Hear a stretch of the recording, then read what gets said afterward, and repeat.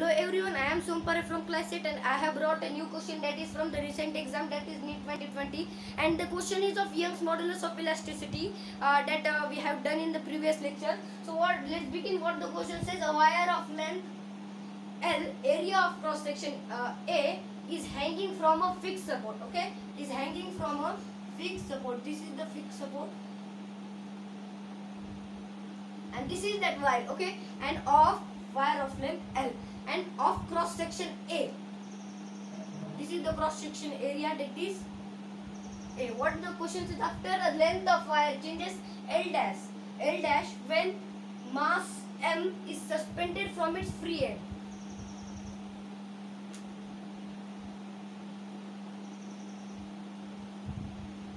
This is the L dash when mass M is suspended at its free end that is M and this is acting at downward that is the wet force that is mg okay that is mg. The, what the question is after the expression of Young's modulus is we know that what's the Young's modulus that is gamma stress by strain that is stress by strain and what is the stress force by area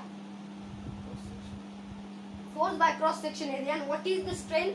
That is change in length upon change in length that is delta L upon original length. And what is the change in length?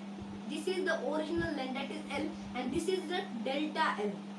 This much is the delta L and this total is the L dash okay? And this is the L. So what will be the delta L? Delta delta L is equal to L dash minus L okay so force is mg.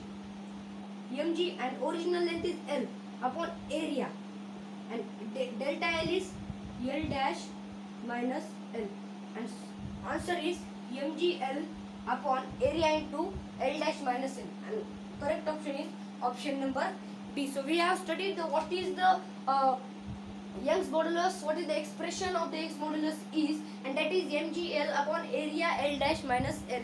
So this question is of NEET 2020 previous exam, recent exam. So we have studied this all. Thank you.